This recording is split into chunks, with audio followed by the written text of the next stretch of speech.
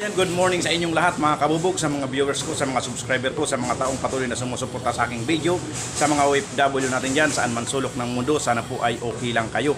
Ayan, for today's video pala mga kabubog, ang ipapakita ko ay kung paano gumawa ng um, aluminum amplimisdor. Ang gagamitin natin dito mga kabubog ay YP200. Ayan. Ayan, iba-ibang materialis naman kasi yung mga nakaraan, iba-ibang materialis ang gamit natin. Ayan mga kabubog, sana magsama-sama tayo sa hanggang sa dulo ng aking video. Ayan, pero bago pala natin simulan mga kabubog, baka mayroon pa dyan hindi pa nagsusubscribe sa aking channel. Pasupport naman dyan mga kabubog. Pa-like, share, and subscribe. And hit nyo na rin ang notification bell para lagi kayong update sa aking mga bagong upload na video. Ayan mga kabubog, wag na natin patagalin. Simulan na natin! First step pala natin mga idol ay puputulin na natin ang materialis niya. Ito ngayon ang puputulin ko. Yan, Alcoprim 301 ang tawag dito mga idol. Ayan, white powder coat white siya. Ngayon puputulin na natin sa tamang sukat. Ayan, panoorin nyo mga idol.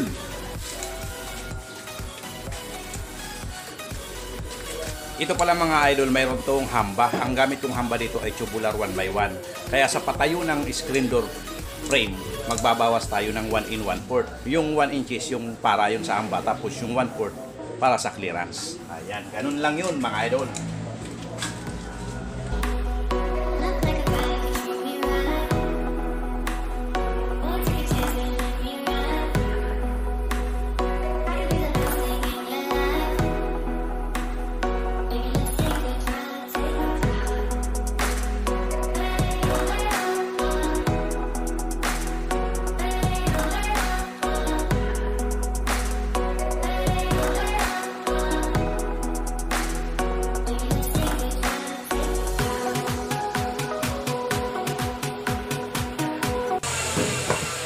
Ayan, naputol na natin. Ayan, naka 45 degrees siya mga idol yan. Ngayon, isi-check natin ang sukat kung sakto.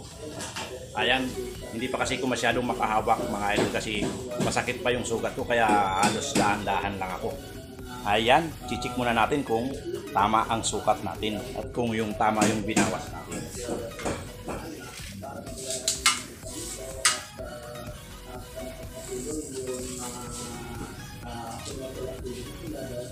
Ayun, saktong-sakto mga idol, sakto.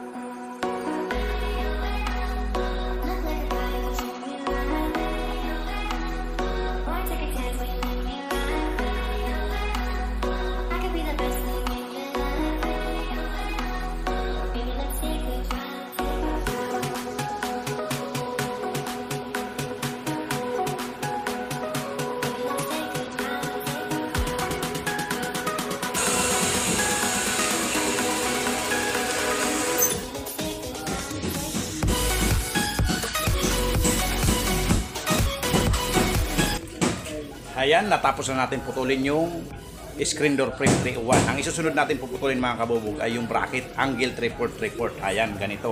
Angle 3434 ang bracket na gagamitin natin. Ayan, panoorin nyo mga idol.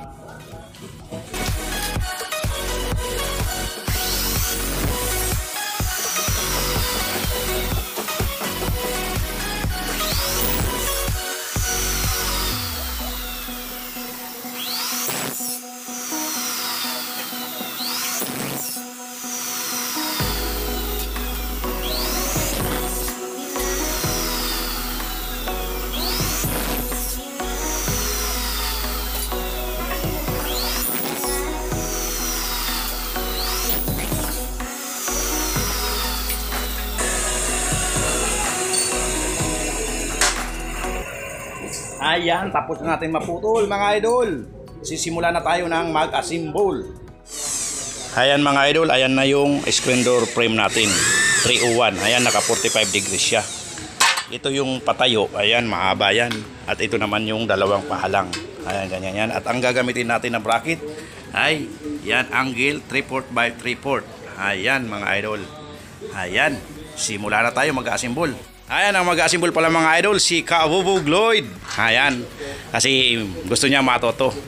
Mag, nag-aaral ng, ano, isang glass aluminum work kaya kailangan turuan natin. Ayan siya na napapasimbulin natin kasi mayroon pa tayong ah, tama sa kamay. Medyo masakit pa kaya isusupervise lang natin ang paggawa niya. Ayan mga idol, panoorin nyo. Ayan, ganyan pala ang paglagay ng bracket.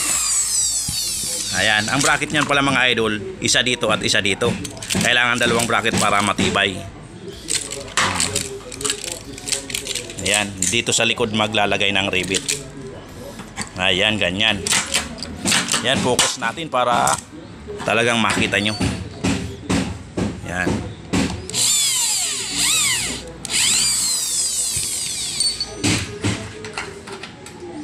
Ayan, ganyan.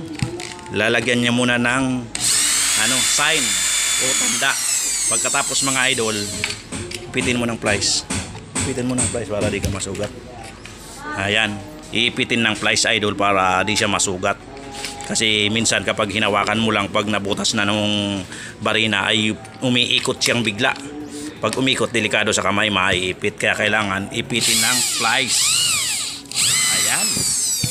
Ngayon ibabalik nyo.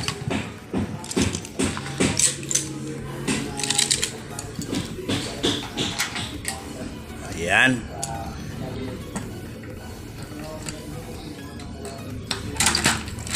Lapat mo, lapat. Ayan, mga idol, ganyan na. Dalawa ng bracket. Ngayon, doon pa sa kabila. Ayan. Yung mga ano dyan, mga single. Naghahanap pa to ng ano, kabalintine. Ayan mga idol. Yan. Kinakailangan kapag mga baguhan kayo, pasiguro lang muna. Ipitin ng price para siguradong hindi kayo masusugat. Yan. Medyo nakalubog-lubog ng kaunti yan mga idol.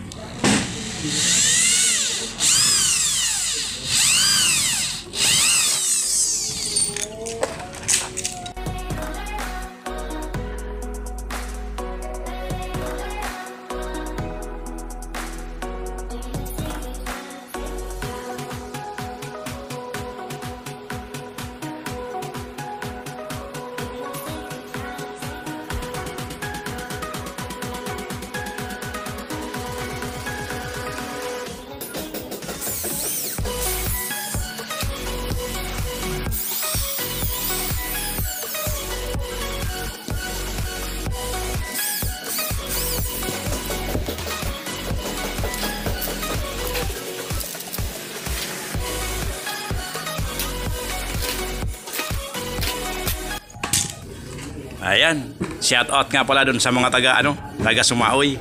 Shout out mo yun, shout out mo. shout out daw yun sa ano ya, sa secret admirer. Ayan, nalagyan na ng bracket mga idol. Ayan. Ang next step natin pala ay ikukunik na natin. Ikukunik natin yung pahalang. Yan, butasan mo muna dito. Yan, butasan mo muna dyan. Tig isa lang. Pati yung sa dulo. Pati yun. Yun, yun, yun, yun. Doon, doon. Ayan, dito.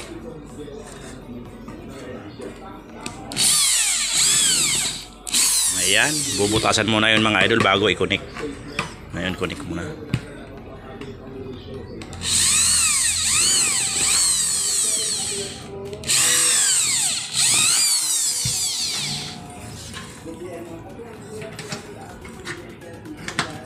Ayan. Medyo palusok ah. Ang barina mo pag ano na. Pabulusok. Dahan-dahan lang.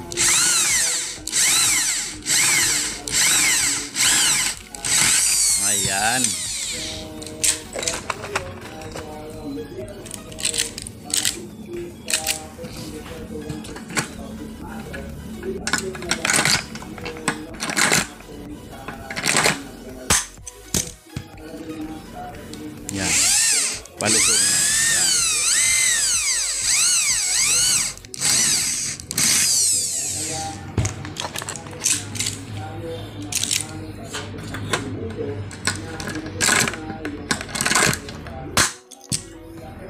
Ganon din dito. Yan, ikotin, ikot.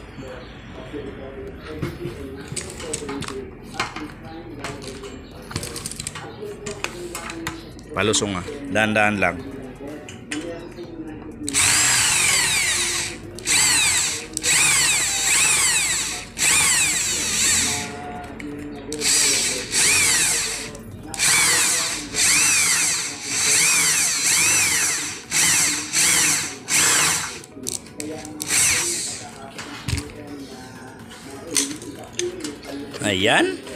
Nakakunik na yung isang ano natin. Isang pahalang.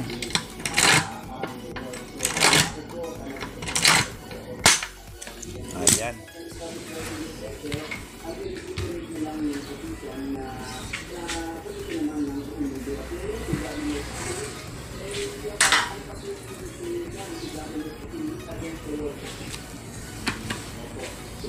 Yan, lumbayin mo muna. Butasan mo muna yan. Ayan, kailangan butasan mo na yan.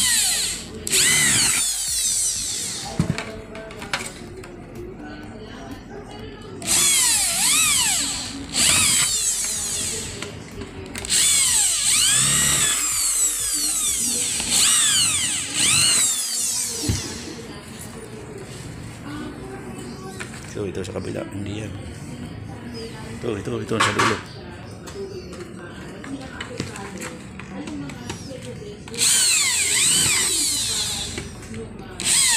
Kailangan butasan mo ng mga idol para hindi ka mahirapan kasi minsan kapag medyo di nakadiretso ang pag ano ng barina gumagalaw.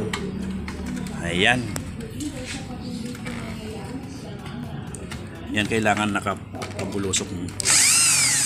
Ang dahan lang.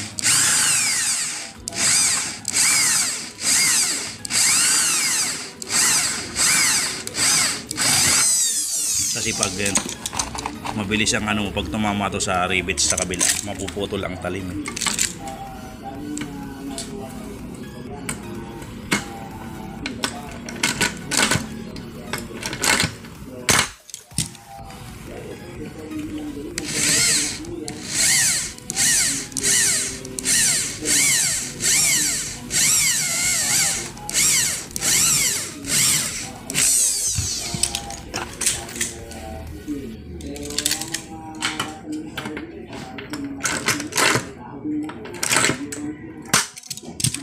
Ayan.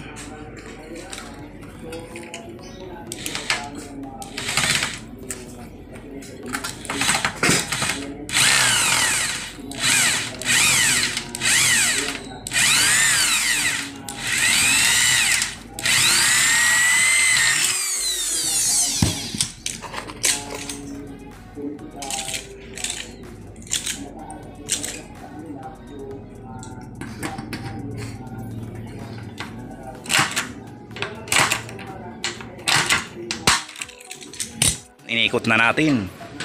Pagkukunikin na natin. Ito, pasok mo dyan.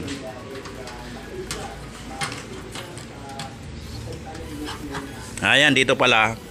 Isa munang rivet. Dito muna. Tigi isa lang muna tapos dun isa lang. Kasi tatanggalin din natin yan mamaya kapag nag kunik tayo nung YP200.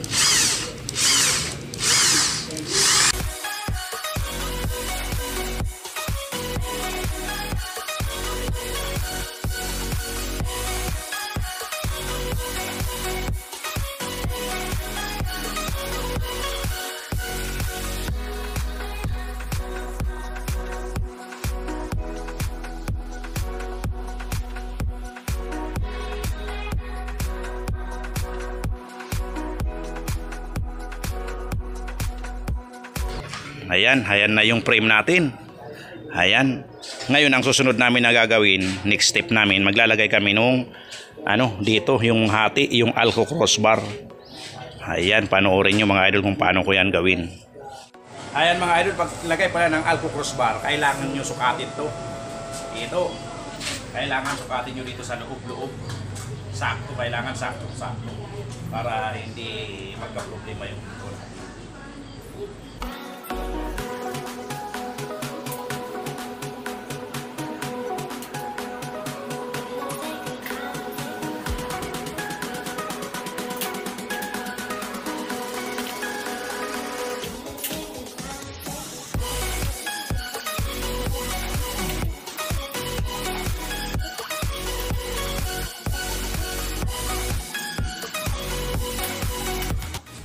Mga idol, puputulin na natin ang Alco crossbar.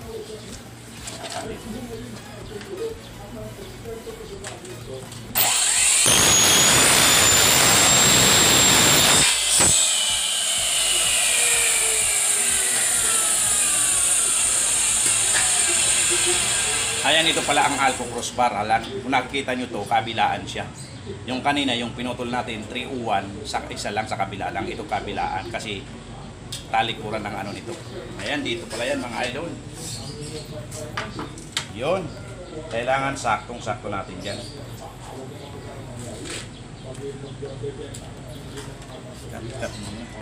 Ayun mga idol, kung nakikita nyo, kinaltasan ko pala yan dito. Kabilaan. Kaltas. Pagkatapos, may kaltas pa yan dyan. Kung nakikita nyo. Kabilaan din yan, tagos-tagos. Kasi susuot dyan yung Alcoprim 301 natin. At ganun din dito sa kabila, idol. Yan, mayroon din, mayroon. Kaltas. Ayan, ganyan. Ngayon, papakita ko sa inyo kung paano ang ano yan, mangyayari.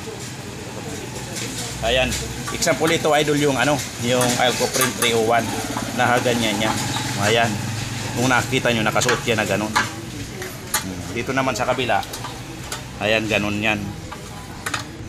Kaya kung ano ang kapal nito, kung ano ang kapal nito, yan ang ibabawas mo dito. Susukatin nyo ng actual. Tapos ganun din dito. Tapos kung ano ang kapal naman nito, yun din ang babawasin nyo dito. Kinakailangan sakto at hindi siya masyadong maluwag. Kaya pag isinuot nyo ng ganun, saktong-sakto lang siya. Ayan, ganyan yan. Yan dapat yan tandaan yung mga pag uh, kukunik ng crossbar. Ayan mga idol, ganyan lang. Ayan, panoorin na natin, kakabit na natin. Kak Ayan, ganun lang mga idol yung pag uh, gagawa ng ganito sa crossbar. Ngayon, i-connect na natin dito sa Alcoprim 301 natin. Ayan, i-connect na natin mga idol. Ayan, tanggalin mo muna dyan. Lang, isa.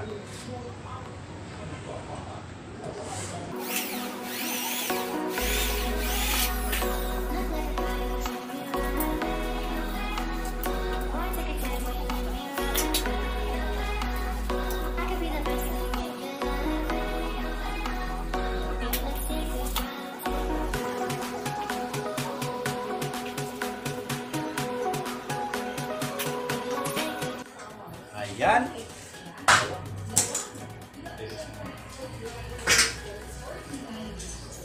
Ayan, ganyan lang yan mga idol. Kailangan tanggalin muna dun sa kabila para sumpot tayo. Mailagay natin na walang gas-gas.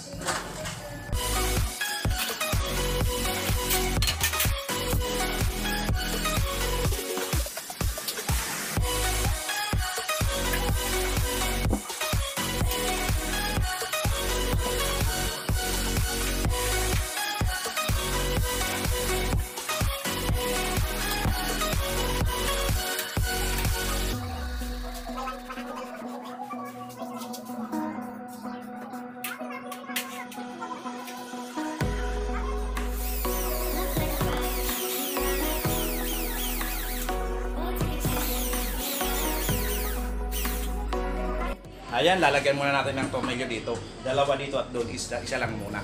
Kasi babaklasin natin uli yan mga idol paglagay natin ng YP200.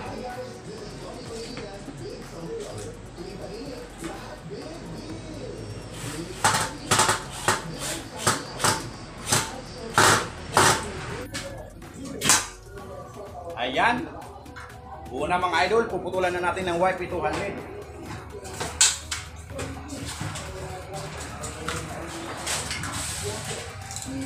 Ayan mga idol, ito pala yung YP200. Ayan.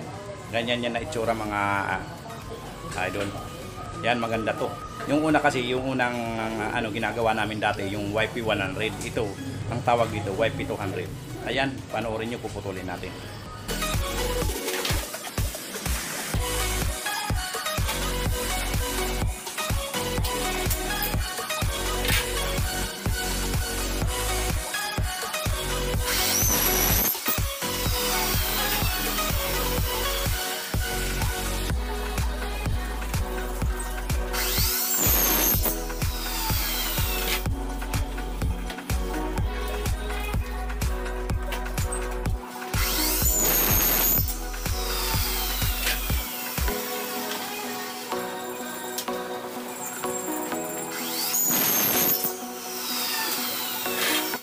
Ayan mga idol, ilalagay na natin yung YP200.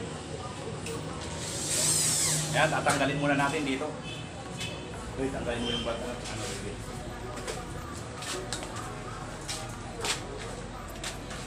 Ayan, kailangan tanggalin yung ano para tatanggalin natin yung kabilang side. Kasi patayo ang ano natin na YP200.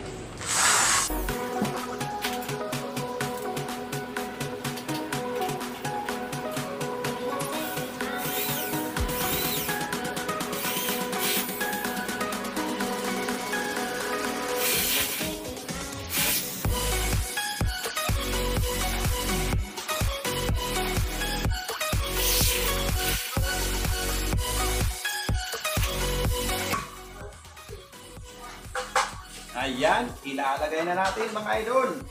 YP200.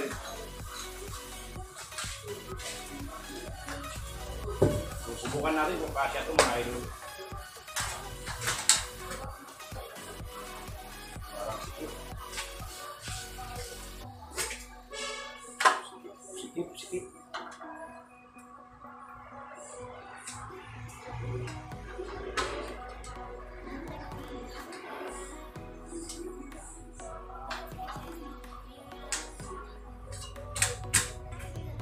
Ayan mga idol, sikip, idol, sikip.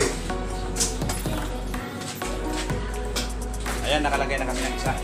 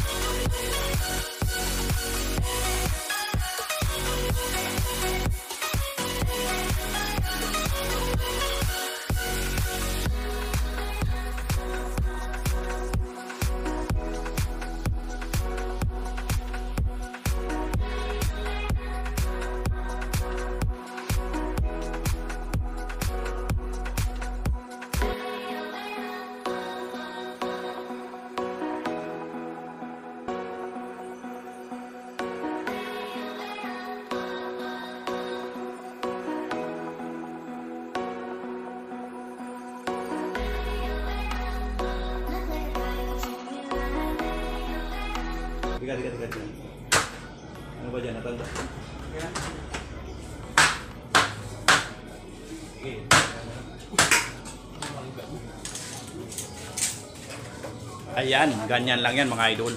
Nalagay na namin yung YP200. Ngayon, kukumplituhin na natin ang rivet.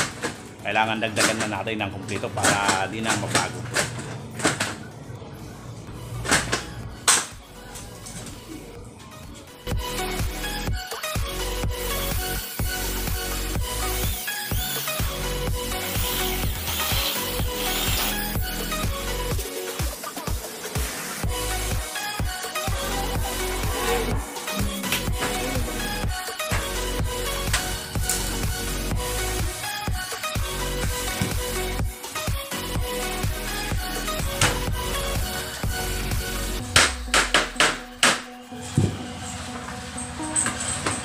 Ayan mga idol, nalagay na namin mga idol. At step na maglalagay na kami dito ng amplifier at screen. Ayan mga idol, nakabit na namin yung YP200. Ayan, ayan ang YP200. Medyo makapal kasi yan mga kabubugay sa YP100. Ayan. Ang next step namin, maglalagay na kami ng amplifier dito at screen mesh. Ngayon, tatanggalin muna natin to mga idol. Ito na naman sa bandang taas na to ang tatanggalin ko. Kasi isusuot ko na lang yung amplifier. Ayan, panoorin nyo.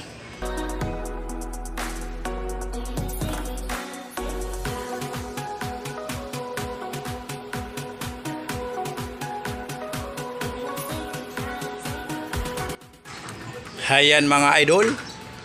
Ang amplifier natin ay pinuputol na ni Kawobog Lloyd ng sakto. Ayan, ang pamputol kasi namin mga idol plies lang. Wala kaming bolt cutter. Ayan, kaya medyo matigas ka dito mga idol. Pero kayang-kaya naman ng plies. Ayan. Konting tiyaga lang. Pag may tiyaga, may nilaga. Ayan mga idol, natapos na. Naputol na natin yung amplifier. Ayan, tatanggalin natin yung bandang taas at isusuot natin. Ayan, dahan-dahan lang pagsuot mga idol.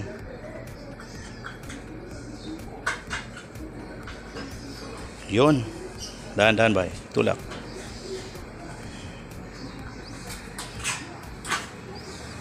Dahan-dahan pagsusuot mga idol kasi medyo matalas to.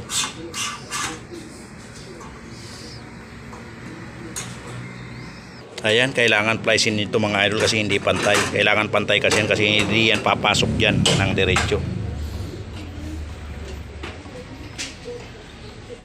Ayan, pumasok na mga idol. Ayan, dito na. Ilalagay na namin yung para dito.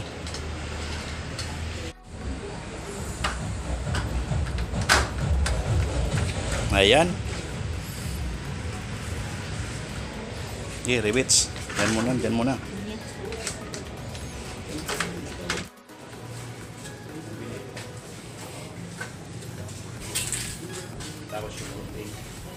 Ayan mga idol, maglalagay na kami ng screen mesh.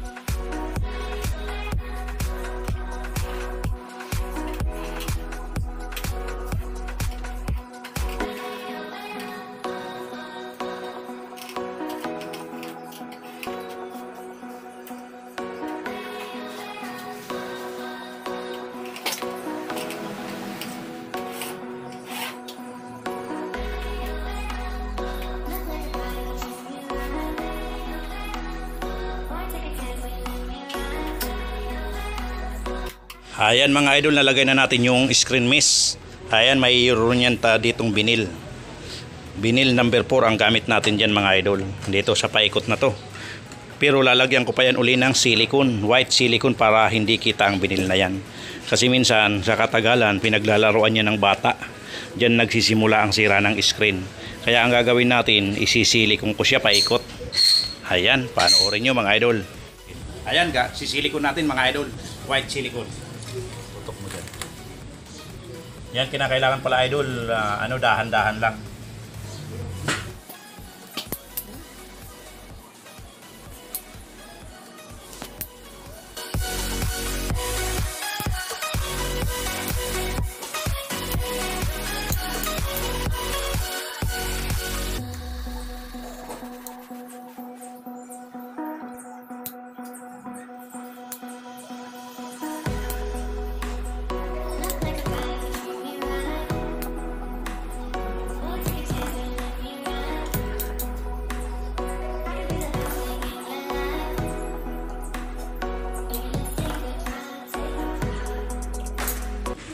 Mga idol, nasilant na natin. Ayan.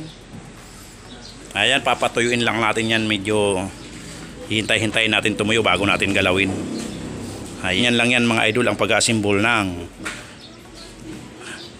Amplimis door using YP 200. Ayan pala mga idol, kapag ang screen door nyo o ang Amplimis door may hamba, ang ililist nyo ay 1 in 1 port less 1 in 1 port sa height. Ayan sa width naman mga idol pag may hamba less 2 1 port. Pero ang gamit yung hamba dyan mga idol 1, 1 by 1 or 1 by 1 in 1 half or 1 by 2 ganyan. Yun ang mga list nya yun ang kailangan yung tandaan yung list Hay. Ayan mga idol, hanggang doon na lang muna ang aking video. Ayan, maraming salamat sa mga viewers ko dyan, sa mga subscriber ko, sa mga taong patuloy na sumusuporta sa aking video, sa mga OFW natin dyan.